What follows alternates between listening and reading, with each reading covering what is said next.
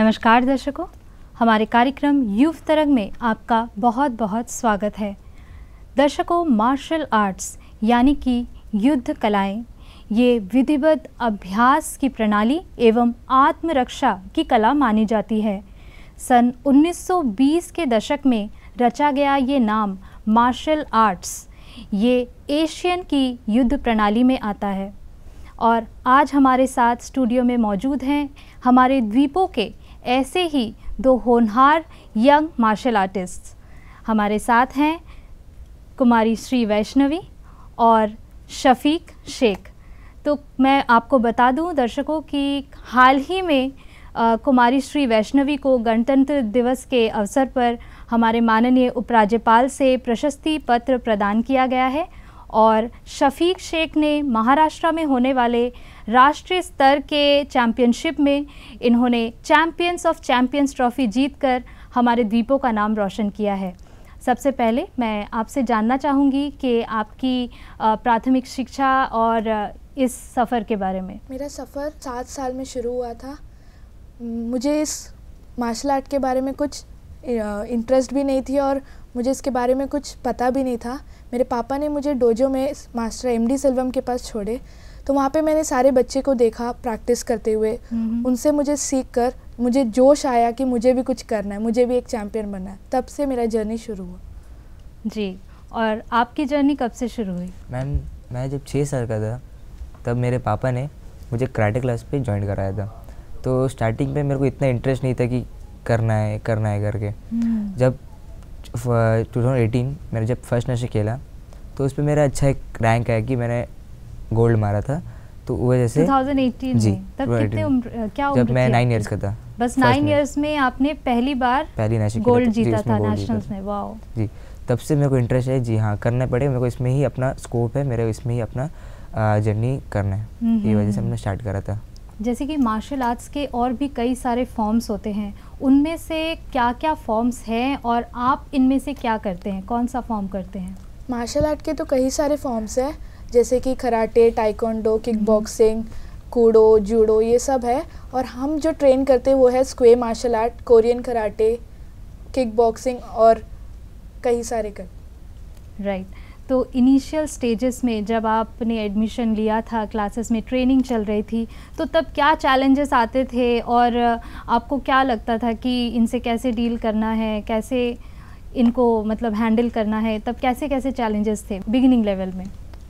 Ma'am starting जब हम लोग जब ज्वाइन कर रहे थे मैंने जब ज्वाइन करा था पर्सनली तो बहुत ज़्यादा फेसेस आए थे मेरे क्योंकि स्टडीज़ के लेके हम्म। कैसे मैनेजमेंट करना है स्टडीज़ फिर आके फिज़िकली इंजरीज बहुत सारे होते थे हमें। अच्छा। जैसे कि क्रैम्प हो जाना अभी कराटे क्लास से आए छुट्टी हुआ तो गए घर पे तो फिर बैठने मुश्किल खड़ा होने मुश्किल। अगर हम्म, बैठ गए तो फिर फिर लेटना फिर कैसे होएगा? फिर लेटे गए तो फिर हम्म। उठेंगे कैसे? सुबह सुबह स्कूल जाए में फिर तकलीफ़ होती थी हमें। तब हमने क्या करा फिर मास्टर हमारे मास्टर ने क्या करा मेरे फादर को बताया कि ये सब प्रेशर पॉइंट्स में थोड़ा हल्का हल्का मास्टर करते थे हम लोग को। मास्टर हमें मसाज कराते थे।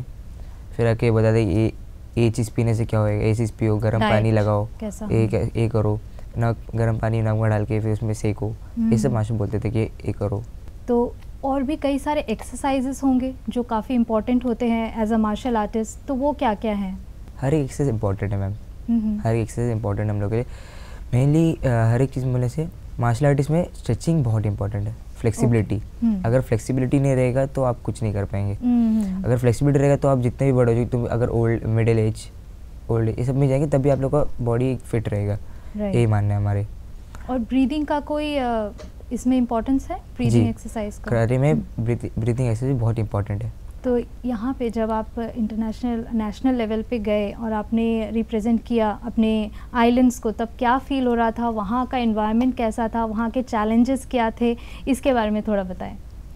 यहाँ में तो हम जब स्टेट लेवल खेलते हैं तो ज़्यादा यूनिट्स आता नहीं एक या दो तीन यूनिट्स ही आता है। हम्म, हम्म। तो यहाँ पे कंपटीशन थोड़ा कम होता है। लेवल ऑफ़ कंपटीशन थोड़ा कम होता है क्योंकि यहाँ पे मेडल टैली हम फाइव फोर या फाइव राउंड्स खेल के हमारा मेडल टैली आ जाता है। बट जब नेशनल लेवल्स में जाते हैं वहाँ पे हमारा कंपटीशन टफ होता है क्योंकि बहुत सारे स्टेट से eighteen to twenty states participate करते हैं। वहाँ के अलग अलग प्लेयर्स आते हैं तो वहाँ पे हमें एट टू टेन राउंड्स खेलना पड़ता है हमें मेडल टैली में आने के लिए। तो दोनों का कंपटीशन लेवल अलग है और यहाँ का इंफ्रास्ट्रक्चर और वहाँ का इंफ्रास्ट्रक्चर बहुत अलग है। यहाँ पे टाइम पे दो बाउटी लगता है और वहाँ पे बारह दस अरेना लगता है। तो सारा कैटेगरी अलग अलग बाउट्स में चलते हैं। तो ये डिफरेंसेस है यहाँ के और वहाँ पे। तो आपको लगता है कि आप कोप अप कर पाएँगे आगे भी इस चीज़ से? जी।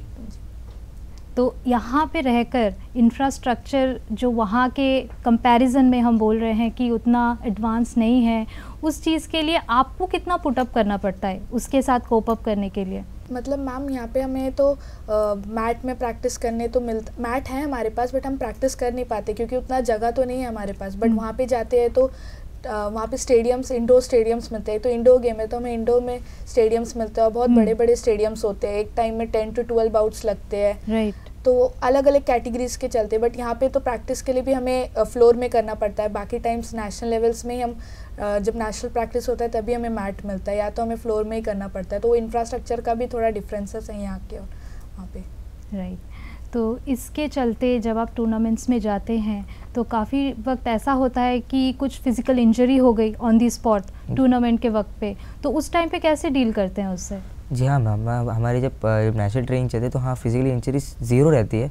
हम्म। अभी कुछ एक गलती की वजह से अगर हो गई तो हम्म। हमारे साथ कोचेस रहते हैं हमारे मास्टर रहते हैं इनको सही कराने के लिए। अगर हम अगर कुछ भी हो गया तो मास्टर बताते हैं ये करो फर्चो ये करो। वही वजह से। तो कितना टाइम मिलता है उस चीज़ के लिए? थर्टी सेकेंड्स में मिनिमम थर्टी सेकेंड्स मिलते हैं मैम। Only वो- 30 में आपको 30 में करना आपको फट से करना नहीं तो फिर आप नहीं खेलेंगे तो डिस्qualify वो जो दूसरा जो ओपनर प्लेयर है वो जीत जाएगा। राइट तो कभी आपके साथ हुआ है ऐसा टूर्नामेंट के दौरान? टूर्नामेंट पे नहीं मैम हमारे नेशनल एरिया पर तो मेरे साथ नहीं हुआ मैम हम्म। हमारे साथ स्टेट एरिया में स्टेट में हुआ था कि अच्छा। हुआ था अच्छा। कि मेरा लेग पे कुछ हो गया था तो हम्म। मुड़ गया था तो वजह से रोकना पड़ा बाउट को। थर्टी सेकेंड्स के अंदर टिकर में जो कोच था पीछे बैठे वो आके बोले कि जल्दी ये करो ठीक हो गया। उसके बाद फिर फाइट में खेला वापस। तो आपने फिर से फिर से खेला। खेला? बहुत ही बढ़िया। तो ऐसे सारे एक्सपीरियंस से आपको लगता है कि आप आगे इससे कुछ सीख रहे हैं और आगे जाके इसको जो एडवांस लेवल है क्योंकि अभी आप अभी भी ट्रेनिंग स्टेजेस में हैं तो एडवांस लेवल जब आप पहुँच जाएँगे तो वहाँ पे आप इसको काम लगा पाएँगे और किस तरह से काम लगाएँगे? मैम ये तो हम आगे इसी को करते जाएँगे मैम इससे तो हम और आगे बढ़ेंगे। हम्म, तो इसी को हम लेके चलेंगे मैम। राइट अ, हमारे मार्शल आर्ट्स के बारे में बात किया जाए तो इसमें सबसे जो ग्रेटेस्ट अचीवमेंट माना जाता है एक इंसान के लिए इंडिविजुअल तौर पे वो क्या होता है? मैम ग्रेटेस्ट अचीवमेंट बोलने से मैम अगर कोई भी एक प्लेयर हमेशा हम हर एक प्लेयर क्या सोचते हैं कि हाँ मेरे को चैंपियन बनना है चैंपियन हम्म। बनना है। ऐसे नहीं से हर एक प्लेयर ही चैंपियन को एक प्लेयर बना। है Exactly. वो प्लेयर का क्या सोचे बोलने से नहीं मेरे को इतना भी प्लेयर है इस सबको हरा के एक चैंपियन बनना है। राइट अभी अचीवमेंट सबसे अगर मार्शल आर्ट्स में मेन है तो एक है कि हम लोग को वर्ल्ड कराटे फेडरेशन जो हम लोग फेडरेशन है कराटे का वर्ल्ड। कराटे फेडरेशन जो वर्ल्ड इंटरनेशनल लेवल उसमें जाके हम लोग को गोल्ड मेडल उठाना है। गोल्ड मेडल तो वो सबसे है। achievement है। होगा। जी। एक कराटे प्लेयर के लिए ग्रेटेस्ट अचीवमेंट है तो अभी फ़िलहाल कौन है उस स्टेज पे? अभी फ़िलहाल मैम उस स्टेज पे स्टीवन डी कोस्टा ओके जी वहाँ पर। तो उन्होंने वो अचीव किया हुआ है अभी। राइट और गर्ल्स पे है एंजिला तेल्युगा राइट तो आप इस मुकाम पर हैं और आपने इतना सारा जो अचीव किया है तो हम भी दुआ करते हैं कि आप भी उस लेवल पर पहुँचे और आपको ज्ञात होगा कि हमारे आइलैंड्स है जो हमारे। आइलैंड्स में कौन कौन से ऐसे और आर्टिस्ट है यंग आर्टिस्ट है या फिर एक्सपीरियंस्ड आर्टिस्ट कौन कौन है यहाँ पे? यहाँ पर मैम यंग आर्टिस्ट होने से हमारे एक है आर दिनेश। ओके ये अभी के आइलैंड पे यंग आर्टिस्ट सबसे चैंपियन ऑफ़ चैंपियन उन्हीं के पास है सबसे ज़्यादा सबसे ज़्यादा मेडल्स सबसे ज़्यादा सर्टिफिकेट सबसे ज़्यादा अचीवमेंट्स उन्हीं के पास है। उनसे पहले हमारे master M D Selvam doctor master M D Selvam. वो है। वो हमारे आइलैंड के सबसे बेस्ट मास्टर बोलने से वही है। उनको ग्रैंड मास्टर भी है स्कोई मार्शल आर्ट्स में ग्रैंड मास्टर है वो। फिर आके कराटे पे टेक्निकल डायरेक्टर तो हमारे आइलैंड्स की हम बात करें तो ये हमारे जो सबसे अच्छे मार्शल आर्ट्स के तौर पे आर्टिस्ट हैं राइट तो हम अगर देखें कि इंटरनेशनल लेवल्स पे जिस तरह की ट्रेनिंग होती है जिस तरह का डाइट डिसिप्लिन की जो बात हम करते हैं कोई भी स्पोर्ट्स हो या फिर कोई भी चीज़ हो लाइफ में डिसिप्लिन का बहुत बड़ा रोल होता है। डिसिप्लिन डाइट इन सब का बहुत बड़ा रोल होता है। तो मार्शल आर्ट्स में इनका क्या रोल है? आपने बहुत बड़े सवाल पूछा मैम कि डिसिप्लिन मैम मार्शल आर्ट्स पे कुछ भी है ये मार्शल आर्ट में सबसे बेसिक चीज़ है कि डिसिप्लिन सेल्फ डिसिप्लिन अगर आपके अंदर डिसिप्लिन नहीं है तो आप कुछ नहीं कर सकते। क्योंकि आप आ, कोई भी जो मास्टर से कैसा बात करना है वो भी डिसिप्लिन आते हैं। कैसा खड़ा होना है मास्टर सामने? कैसे अपने सीनियर्स को रेस्पेक्ट देना है? कैसे अपने मास्टर को रेस्पेक्ट देना है? वो सब सब सेल्फ डिसिप्लिन में आते हैं। अगर आपका एटीट्यूड सही नहीं है मास्टर के सामने अगर आपने कोचेस के सामने तो आपका डिसिप्लिन नहीं है। अगर एक दो प्लेयर चैंपियन है मैम एग्ज़ाम्पल दो प्लेयर चैंपियंस है। हम्म। एक प्लेयर का अंदर डिसिप्लिन है एक प्लेयर का सेल्फ डिसिप्लिन नहीं है। हम्म। जो प्लेयर का डिसिप्लिन है मैम वो आगे बढ़ के चैंपियन ले लेते हैं। जो प्लेयर का डिसिप्लिन नहीं है वो अपना एटीट्यूड ओवर एटीट्यूड की वजह से हट जाते हैं वहाँ से बैक हो जाए एक स्टेप बैक हो जाते हैं। राइट जो जिसका सेल्फ वो आगे बढ़ जाते हैं। और डाइट के बारे में क्या कहना है आपका? डाइट तो मोस्ट इंपॉर्टेंट फैक्टर है एक मार्शल आर्टिस्ट के लिए। और ड्यूरिंग uh, ट्रेनिंग uh, हमें डाइट प्रॉपर uh, लेना चाहिए। और वैसे तो जनरली हमें मना है जंक फूड्स और सॉफ्ट ड्रिंक्स लेना। तो हम ट्रेनिंग के समय ज़्यादा से ज़्यादा प्रोटीन और कार्बोहाइड्रेट्स ही लेते हैं। तो ड्यूरिंग टूर्नामेंट्स हमें अपना डाइट फॉलो करना चाहिए क्योंकि डाइट वेट इंक्रीज और डिक्रीज़ के हिसाब से हमें अपना डाइट भी फॉलो करना चाहिए। क्योंकि हमें अपना टूर्नामेंट्स में वेट कैटेगरी में वेट फ्रेम में रहना चाहिए। तो उसकी वजह से हमें डाइट बहुत इंपॉर्टेंट है हमारे लिए मार्शल आर्टिस्ट बिल्कुल बिल्कुल। और जैसे कि आप लोग टूर्नामेंट्स में जाते हो आ, उसमें काफ़ी सारा वक्त जाता है। आप कौन से क्लास में हैं अभी? क्लास नाइन्थ और आप? नाइन्थ आप दोनों नाइन्थ में हैं। तो ऑब्वियसली प्रेशर भी बहुत ज़्यादा होगा स्टडीज़ का। तो उस चीज़ को कैसे हैंडल करते हैं? पढ़ाई मार्शल आर्ट्स की ट्रेनिंग टूर्नामेंट्स ये सारा कुछ कैसे हैंडल हो पाता है? जब से मैं आ, मैं सेवन ईयर से सीखती हूँ तो तब से पढ़ाई और ट्रेनिंग दोनों को मैनेज करके चलना पड़ता है। ये तो जैसे जर्नी का ही एक पार्ट जर्नी का ही एक पार्ट है। स्टार्टिंग से दोनों को मैनेज करके चलना पड़ता है। हम्म। तो जैसे कि फोर टू सिक्स सुबह ट्रेनिंग होता है उसके बाद हम पढ़ते हैं फिर उसके बाद स्कूल से आके वापस से फोर टू सिक्स ट्रेनिंग करते फिर स्टडीज़ करते हैं। तो दोनों को हम बैलेंस करके चलते हैं अपने टाइम के हिसाब से। और इसके बीच रेस्ट के लिए भी वक्त निकालना पड़ता होगा वो भी बहुत इम्पोर्टेंट है। तो वो निकल पाता है निकल जाते हैं राइट right, क्योंकि आप इतना फिजिकली खुद को एक्टिव रखते हो तो रेस्ट बहुत इंपॉर्टेंट है।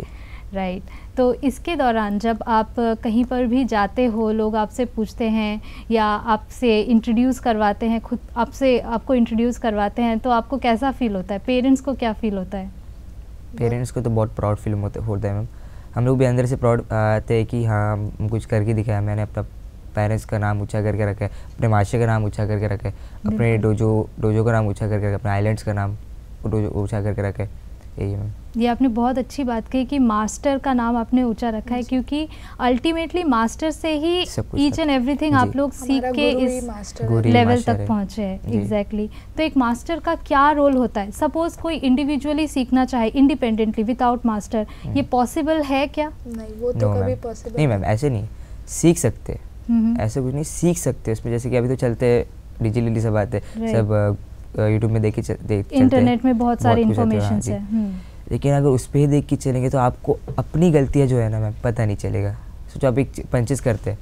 एक पंच करे तो अगर आप मास्टर सामने करेंगे तो मास्टर बताएँगे हाँ ये गलत है फ़िश टाइट रखो बॉडी अपना हाथ सही रखो। अगर आप इंडिविजुअली करेंगे मैम उसको गलत पता नहीं चले तो उल्टा पुल्टा करेंगे तो फिर इंजरीज होने बहुत मास्टर का बहुत बड़ा रोल होता है। जी बहुत बड़ा और क्या क्या क्वालिटीज़ होनी चाहिए एक अच्छे मार्शल आर्टिस्ट में कि वो नेशनल लेवल इंटरनेशनल लेवल तक पहुँच पाए? क्या क्या वो अच्छी चीज़ें हम दर्शा सकते हैं एक मार्शल आर्टिस्ट अपने जो ट्रेनिंग के दौरान या फिर टूर्नामेंट्स के दौरान? ये थोड़ा बताएँ। सबसे पहले तो उसके अंदर प्लेयर के अंदर एक सेल्फ डिसिप्लिन होना चाहिए। वो एक डिसिप्लिन हम्म। होना चाहिए। अगर आप अपने प्लेयर के अंदर एक विल पावर आत्मविश्वास नहीं रहेगा तो कुछ नहीं कर पाएगा। Will power is must ma'am अगर कोई प्लेयर को कुछ एक एक स्टेज में जाके अपना एक नाम बनाना है तो हम्म। उसको बहुत ज़्यादा मेहनत करना पड़ेगा। अगर मेहनत नहीं करेगा तो कुछ नहीं होएगा। Right, और कॉन्फिडेंस होना चाहिए कि हम कर सकते हैं बोल के तभी वो आगे बढ़ेंगे वो प्लेयर बिल्कुल बिल्कुल। मार्शल uh, आर्ट्स में दो चीज़ें होती हैं आर्म्ड एंड अनआर्म्ड तो इन दोनों में क्या डिफरेंस है? मैम आर्म्ड का मतलब है कुछ भी एक हथियार जैसे कि नान चाकू हो गया स्क्वाड स्वाड हो गया स्टिक हो गया हम्म। टोनफा हो गया। ये है इसमें इसमें हम लोग हथियार लेके लड़ते हैं मैम कहीं पर स्ट्रीट हो कि स्ट्रीट पे भी हथियार लेके लड़ते हैं। और अंडा मैम विदाउट हथियार मैम हम्म। Without sword without nunchuck without stick बिना हथियार का लोग लड़ते हैं। वही है मैम तो आपका जो ये ट्रेनिंग का पीरियड है वो कितना रहता है एक दिन में? टू आवर्स मैम सुबह टू आवर्स और शाम शाम को टू आवर्स तो पर डे फोर आवर्स आप लोग ट्रेनिंग करते हैं। नेशनल्स का ट्रेनिंग तो होता है तो उसका थोड़ा ज़्यादा ट्रेनिंग होता है क्योंकि और मेहनत करना पड़ता है नेशनल्स के लिए। और इंटरनेशनल्स होगा तो और थोड़ी ज़्यादा हम्म। कड़ी मेहनत करना पड़ेगा। जी तो मार्शल आर्ट्स में ऑब्वियसली आप दोनों बहुत ही अच्छा कर रहे हैं। इसके अलावा आप लोगों का और कोई एरिया ऑफ़ इंटरेस्ट है? हॉबीज़ क्या क्या हैं आप लोगों के? उसके बारे में बताइए। नॉर्मली इंटरेस्ट मैम मेरा है कि मेरे को रीडिंग करना बहुत पसंद है। रीडिंग करते हैं। अच्छा। और किस तरह की बुक्स पढ़ते हैं आप? नॉलेजेबल बुक्स मैम जैसे कि रिच डैडी पुअर। डैडी ये सब जैसे कि इंटरनेट पे जो बुक्स मिलते हैं वो सब पढ़ रहे हैं। और मैम मेरे को फ़ोन में फाइट्स वीडियोस ये सब देखना बहुत पसंद है। जैसे कराटे फाइट वीडियोस ये सब देखना बहुत पसंद है। वैष्णवी आप बताइए आपके हॉबीज़ क्या हैं?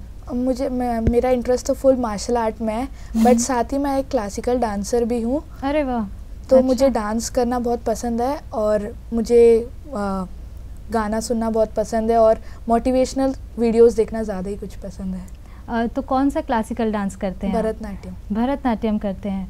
वो भी बहुत ज़्यादा डिसिप्लिन ओरिएंटेड एक हमारा इंडियन कल्चर का ही एक पार्ट है। बहुत ही बढ़िया। हमने सुना है कि आप बैडमिंटन भी खेलते हैं? यस तो आपने बैडमिंटन में कौन से लेवल तक आपने खेला हुआ है? मैं स्टेट लेवल तक ही मैंने अभी तक खेला है मैम बहुत ही बढ़िया। तो इतना सारा आप लोग अपने अंदर हुनर लेकर आगे बढ़ रहे हैं। हम यही दुआ करेंगे कि आप और आगे तक जाए और हमारे आइलैंड्स का ही नहीं हमारे कंट्री का नाम भी रोशन करें। हम बिल्कुल जी बिल्कुल। बहुत जल्दी करेंगे। तो अभी हम देख पा रहे हैं कि आपने इतने सारे ट्रॉफीज़ जो जीते हैं नेशनल लेवल में स्टेट लेवल में तो इनमें से कौन कौन सा आपने स्टेट लेवल में या नेशनल लेवल में कौन कौन सा जीता हुआ है? ये जो है कराटे। अभी जो। हुआ था कराटे का बीच पे। तो उस पे ग्रैंड चैंपियन जो है उसमें ये जीता था मैंने। ये आपने- बॉयज़ पे अंडर एटीन बॉयज़ पे ये जीता था ग्रैंड चैंपियन ट्रॉफी राइट। और जो नेशनल में आप गए थे चैंपियंस ऑफ़ चैंपियंस ट्रॉफी जो। आपने हासिल किया था वो कब जीता था? जी ये वाला कप अभी जो महाराष्ट्र में महाराष्ट्र सिरदी में हुआ था जनवरी पे। जी। Twenty fourth Sqay national championship उस पे। तो ये जो चैंपियंस ऑफ़ चैंपियंस हम बोलते हैं वो एक्चुअली है क्या? अंडर एटीन कैटेगरी पे मैम हम्म। बहुत सारी वेट कैटेगरी एक अंडर एज कैटेगरी पे बहुत सारी वेट कैटेगरी जैसे कि minus fifty minus sixty. Minus seventy minus eighty इस तरह से मतलब प्लस एटी इस तरह रहता है मैम तो उस सारे कैटेगरी गोल्ड मेडलिस्ट जैसे कि वो सारे कैटेगरी चैम्पियंस हैं हम्म हम्म उनका एक लिस्ट बनाएगा तो उनके साथ एक फिक्सर बनाएगा तो उनके साथ सबका फाइट होएगा जैसे कि एक कैटेगरी गोल्ड मेडलिस्ट दो कैटेगरी इस तरह सारे गोल्ड मेडलिस्ट एक साथ बैठेंगे गोल्ड मेडलिस्ट के बीच में चैंपियनशिप चैंपियन होगा। चैंपियंस होएगा तो उनके उनके उनके साथ होके फिर उनसे कोई एक निकलेगा चैंपियन ऑफ़ चैंपियन जो चैंपियंस का चैंपियंस है। चैंपियन का चैंपियन है। तो वो आपने हासिल किया है। मतलब राइट नाउ जितने भी चैंपियंस है नेशनल लेवल स्टेट पे नेशनल लेवल पे उन पे। आप उनके चैंपियंस हैं। बहुत ही बढ़िया। तो वैष्णवी आपने जब नेशनल लेवल पे किया है ये लेटेस्ट जो है आपका वो कब हुआ था और कहाँ पे हुआ था? महाराष्ट्र शिरडी में हुआ था। 18 Jan to twenty first Jan पे हुआ था। जैन को हुआ था। तो मैंने भी उसमें गोल्ड मेडलिस्ट थी मैं। अपने कैटेगरी की चैम्पियन थी मैम राइट right. तो आपको अ, कौन सा बेल्ट हासिल है? Black belt first dan black belt आपको हासिल है। तो ब्लैक बेल्ट में बहुत सारे वो होते हैं लेवल्स होते हैं वो क्या क्या होते हैं? ब्लैक बेल्ट में फ़र्स्ट टू ट्वेल्व दैन तक होता है। ट्वेल्थ ट्वेल्व दैन हासिल करने के लिए तो 95 एज तक तो हो ही जाता है तो उसके बाद ग्रैंड मास्टर बन जाते हैं। और 35 तक तो हमें एक ऐसा प्लेयर करते हैं फिर उसके बाद हम रेफरी जूरीज वैसे में हम लोग बैठ के रेफरीज करते हैं उसके बाद। Right right. तो कैसे जैसे कि आपके पास ब्लैक बेल्ट है तो सारे जो आपके क्लासमेट्स है अगर कोई शरारत करता है तो सब आपसे डरते नहीं होंगे बोलते होंगे कि अरे इसके साथ कुछ मत करो इसके पास ब्लैक बेल्ट है ऐसा बोलते होंगे जी। तो एक तरह से हम देख रहे हैं कि हाँ जिससे हम सेल्फ डिफेंस की बात कर रहे हैं हाँ मार्शल आर्ट सेल्फ डिफेंस का एक यूनिट है तो वो आप बखूबी निभा रहे हैं जी। तो इस चीज़ का जब ये स्टार्टिंग में शुरू हुआ था इनिशियल जब एंशियंट टाइम्स में मार्शल आर्ट शुरू हुआ था तो वो किस इंटेंशन से लड़ा जाता था और क्यों किया जाता था? स्टार्टिंग में शुरू हुआ था ऋषि मोनी हम्म। फिर मलियुद्धम हम्म, फिर के मलियुद्धम के बाद फिर ऐसे ऐसे हम लोग स्टेज बढ़ते गया मैम जैसे कि पहले स्टार्टिंग में स्टार्टिंग में जब लड़ना कोई नहीं जानता मतलब लड़ाई वड़ाई कुछ नहीं। हम्म, पहले के टाइम पे सब मॉन्क्स जितने भी है जब डिसिप्लिन वाले सब मॉन्क्स है जो शांत रहते हैं उन लोग को जब सफ़र करना रहता है ना मैम तो बीच में बहुत सारे जैसे शिकारी डाकू जानवर कुकारी जानवर उस लोग से फिर कैसे लड़ना? अगर कोई डाकू रहेगा तो फिर उठा उठा- कुछ भी लेके चले जाएँगे मैम। हम्म, हम्म, उन लोग से कैसे लड़ना करके फिर उन लोग पढ़ाई की नेचर से सीखे मैम उस लोग। राइट नेचर से कैसे जैसे कि शेर कैसे उनको दबोचता है शेर कैसे दबोचता है हम्म। बंदर कैसे कूद के भागते हैं सब सब नेचर से सीखे मैम। हम लोग को मार्शल आर्ट एक नेचर से ही बना है। ट्रांसफॉर्म हुआ है नेचर से। और हमारे जो मार्शल आर्ट जितने भी एरिया पे गया है हम हमारे इंडिया से ही ये सब जगह गए जैसे इंडिया से चाइना हम्म, चाइना से ओकिनावा ओकिनावा से जापान हमारे इंडिया से ही पूरा वर्ल्ड पे फैला है मार्शल आर्ट्स तो फुल ओरिजिनेटेड हम हमारा भारत इंडिया ने किया है। किया। तो यहीं से आगे फुल बढ़ा है। वाओ बस अभी ये कि हम लोग कम कर दिए क्योंकि हम लोग ज़्यादा उसको नहीं करते। उन लोग ने उसको डेवलप कर दिया। जैसे कि चाइना ने कुंफू में डेवलप कर डेवलप कर दिया। हम्म, ओकिनावा ने अकीडो चाहे जापान ने कराटे ये सबको डेवलप करके रख दिया। हम लोग ने थोड़ा कम कर दिया बस उसको। वो वजह से हम लोग पीछे रह गए। राइट तो हमने अपना ही जो खूबी था उसी चीज़ को कहीं ना कहीं गवा दिया है। तो ये बहुत ही दुख की बात है। चलिए कोई बात नहीं धीरे धीरे आप लोगों का जो जनरेशन है ये इस चीज़ को और आगे लेके जाएगा हमें आशा है। तो जब भी इंटरनेशनल लेवल पे आप लोग जाते हैं तो सब पूछते हैं आप लोग कहाँ से हो? अंडमान से हो? अच्छा अंडमान कहाँ होता है? कैसा होता है? हर जगह पानी होता है। क्या क्या क्वेश्चन आते होंगे आपके पास? मैम यही सवाल सब पहले आते थे। हम्म। अभी तो नहीं। अभी जब हम लोग नेशनल अरीना पे जाते हैं तो एक है हम लोग का नाम है वहाँ पर कि हमारे जो सीनियर्स गए थे तो उनको एक नाम है कि हाँ ये अंडमान टीम गए। इससे नहीं लड़ना। हम्म, हम्म, जब हम हम्म। लोग जाते अरीना में घुसते हैं तो हाँ थोड़ा देख के खेलना अंडमान वाला। है अंडमान वाला। है। अंडमान पहले अच्छा। इस तरह नहीं था। अभी कुछ तीन चार साल से हम लोग नाम आया है कि अंडमान वाला है आराम से खेलना है देख के खेलना। है मतलब इनसे उलझना नहीं उलझना नहीं है ज़्यादा। प्लेयर्स बढ़ रहे हैं तो फिर हम भी जी। हमारा हमारे जो सीनियर टीम है हमारे जो सीनियर टीम है अबाउ एटीन के हम्म। जितने भी प्लेयर्स हैं बड़े बड़े प्लेयर्स उन्होंने अपना एक स्टेज बना के रखा है। अभी हम हम लोग का मानना है अंडर एटीन जैसे कि हमारे कैटेगरी हम लोग भी इस चीज़ को बरकरार रखने मांगते हैं बस। तो फीमेल ग्रुप में कैसा होता है चैम्पियनशिप उस पर भी चैम्पियन ऑफ़ चैम्पियन भी होता है। तो मैंने भी स्टेट चैम्पियन ऑफ़ चैम्पियन मारा था ट्रॉफी अभी। नेशनल में भी मैं चाहती हूँ कि मारूँ अगला। बिल्कुल बिल्कुल। और साथ ही इंटरनेशनल में भी मैं जाऊँ। तो फीमेल का भी सेम ही होता है। चैम्पियन ऑफ़ चैम्पियनशिप होता है। अपने चैम्पियंस के बीच में फिर। चैम्पियन ऑफ़ चैम्पियन होता है। तो वहाँ पे आप लोग जैसे शेख ने बोला कि वहाँ पे जो है सब डरते हैं कि डरते नहीं मतलब कॉन्शियस रहते हैं। हाँ अंडमान वाले हमको ध्यान से खेलना है इनके साथ। तो जब फीमेल ग्रुप में हम बात करते हैं तो वहाँ पे भी ऐसा ही एनवायरनमेंट है? सेम सेम एनवायरनमेंट रहता है। तो यहाँ पे आइलैंड्स की जो लड़कियाँ हैं उन्होंने भी अपना नाम जो है वहाँ पे। ऊँचा करके रखा है इंडिया में। बहुत ही खूब। तो वहाँ के जैसे आपने बात की वहाँ का इंफ्रास्ट्रक्चर थोड़ा सा डिफरेंट है यहाँ से जिसके वजह से आइलैंड्स के बच्चों को ज़्यादा एफर्ट्स पुट ऑन करना पड़ता है। तो वहाँ के बच्चों को और किस तरह की जो चैलेंजेस है जो यहाँ के बच्चे फेस करते हैं वहाँ के बच्चे को नहीं फेस करना पड़ता है? ऐसा कुछ है? मैम यहाँ के बच्चे जब हम लोग ज़्यादातर फेस करते हैं ट्रेवलिंग्स पे। जब यहाँ से हम लोग कहीं जाना रहता है तो हम लोग को फ्लाइट्स फ्लाइट्स लेके जाना पड़ता है कि एक एक फिर तो कनेक्टिंग फ़्लाइट दो दो दो फ़्लाइट लेके जाना पड़ता है। अपने डेस्टिनेशन पे। फिर वहाँ पर एक अलग से है कि फाइनेंशियल प्रॉब्लम होता है हम लोग को। वहाँ का बच्चे लोग को नहीं होता क्योंकि वहाँ पर कैसे है कि ट्रेन पे लेके फट से वहाँ पहुँच गए। यहाँ कैसे यहाँ से तो हम लोग को शिप में जाने से टाइम लग जाता है। बहुत लंबी जर्नी होती है। और कुछ बच्चे लोगों को तो शिप शूट भी नहीं होता सूट नहीं होता हम्म। तो वजह से हम लोग को फ़्लाइट ही जाते हो हेल्थ। इश्यूज़ बहुत होते हैं। सिर्फ़ अगर नेशनल अगर बड़े लोग रहेंगे तो फिर हम लोग शिप में जाएँगे। तो उस लोग से हम लोग थोड़े दिन पहले निकलना पड़ता है शिप में करके हम्म, हम्म, तो जल्दी जाना है तो फिर फ़्लाइट में जल्दी पहुँचना। और वहाँ पर एक रिपोर्टिंग टाइम देते हैं हम लोग को कि ये टाइम में तुम लोग आप लोग पहुँचना है। आप लोग यहाँ पहुँच के यहाँ अपना रिपोर्ट कर रहे हैं कि आप लोग आगे करके। तो हम लोग उससे आगे पीछे हो गए तो फिर हम लोग को एंट्री नहीं मिलेगा। वजह हम लोग जल्दी जाते तो इतना सारा चैलेंजेस जो होता है उन सबको आप फेस करके अपना एक नाम आपने बनाया है नेशनल लेवल पे और ये बहुत ही काबिल तारीफ़ है। तो इस चीज़ के लिए आप किन लोगों को या फिर आ, किन सिचुएशंस को आप थैंक कहना चाहेंगे या फिर किन सारी चीज़ों के वजह से आप यहाँ तक पहुँचे हैं?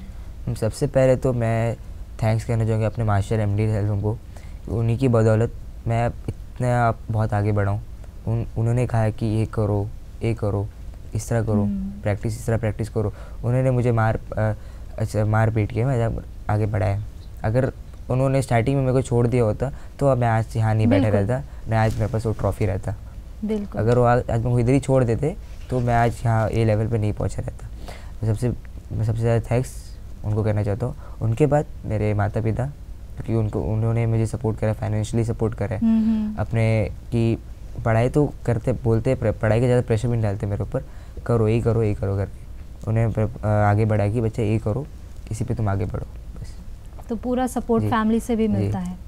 वैष्णवी आप बताइए। मेरा भी सबसे तो पहले गुरु ही आते हैं तो उन्होंने उन्होंने उसकी वजह से मैं यहाँ पे हूँ। हम्म। उन्होंने बहुत बैक सपोर्ट दिया बहुत सपोर्ट दिया उनकी वजह से मैं यहाँ पहुँची हूँ। ये लेवल पे पहुँची हूँ मैं इसी इसी उनके आशीर्वाद से और आगे जाना चाहती हूँ मैं और साथ ही मेरे माता पिता जिसने मेरे सपोर्ट किया इतना आगे बढ़ने के लिए सब में तो उन्हीं लोगों को दोनों को ही मैं थैंक यू बोलना चाहती राइट तो आप लोगों का जो इतना अचीवमेंट्स है इसके थ्रू आप हमारे जो बाकी के यूथ है अंडमान आइलैंड्स पे उनको भी बहुत बड़ा आपने मैसेज दिया है। तो आप अपने तरफ़ से कुछ संदेश उनको देना चाहेंगे? मैंने अपने पर्सनली मैंने अपने मास्टर से ये सीखे है कि मेहनत सब मेहनत करो। मेहनत नहीं करेंगे तो कुछ नहीं मिलेगा। मेहनत करने से आपको अपना सफलता अपने अपना आगे बढ़ने की जगह कैसा क्या सफलता मिले वो मिलेगा। मैम अगर आप मेहनत नहीं करेंगे तो आपको कुछ नहीं मिलेगा। मैम बिल्कुल अगर आपको कुछ करना है तो उठना पड़ेगा। सुबह सुबह उठना पड़ेगा सुबह उठ के प्रैक्टिस करना पड़ेगा। कुछ बनना है तो उठना पड़ेगा मैम आप बताएँ। मेरा भी वही है कि कुछ पाने के लिए तो कुछ खोना ही पड़ेगा तो उसके लिए अपना जो भी है नींद वींद सब हमें खोना पड़ेगा और आगे बढ़ना है तो आगे कुछ करने से हम कुछ सफल कर पाएँगे। तो मास्टर ने हमें ये सिखाया है नो पेन विदाउट गेन करके। तो हम उसी से आगे बढ़ते no gain without pain right so ये जो हमारा जो ये यूथ वाला जो टाइम होता है इसमें हम सबसे ज़्यादा एनर्जेटिक होते हैं फिजिकली मेंटली ज़्यादा एक्टिव होते हैं। तो यही वो टाइम है जब हम लोगों को यूटिलाइज करना पड़ता है टू दी मैक्सिमम वो आप लोगों ने किया है आगे भी करते रहेंगे। और हम दर्शकों से भी यही कहना चाहते हैं कि यहाँ पे जो हमारे साथ मार्शल आर्टिस्ट बैठे बैठे हैं ये आपको यही संदेश दे रहे हैं कि मेहनत ही मूल मंत्र है। हर एक सफलता का। और हम यहाँ के यूथ से भी यही आग्रह करेंगे कि आप अपनी जीवन में मेहनत को बहुत बड़ी आ, स्थान पर रखें और इसके चलते आप बहुत से और मकाम हासिल करें हम यही आशा करेंगे। आपका बहुत बहुत धन्यवाद हमारे साथ जुड़ने के लिए। दर्शकों का भी बहुत बहुत धन्यवाद हमारे साथ इस शो पर जुड़ने के लिए। हम आपसे ऐसे ही और सफलता से भरी कहानियाँ लेके आएँगे इस शो में। हमारा शो देखते रहिए। धन्यवाद।